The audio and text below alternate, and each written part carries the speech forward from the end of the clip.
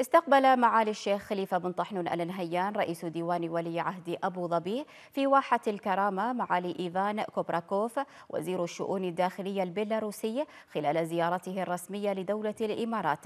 واستعرض معالي إيفان كوبراكوف يرافقه معالي الشيخ خليفة بن طحنون آل نهيان مراسم حرس الشرف الذي اصطف لتحية الضيف بعدها قام بوضع إكليل من الزهور أمام نصب الشهيد.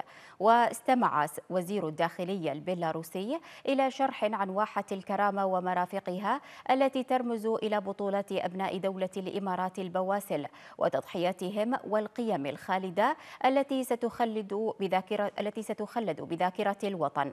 وأشار معالي الشيخ خليفة بن طحنون آل نهيان إلى أن واحة الكرامة تجسد في دلالاتها العميقة عرفان ووفاء قيادة دولة الإمارات لأبطالها ورمزا للبطولة والشجاعة. تتناقلها الأجيال القادمة القادمة بكل فخر واعتزاز.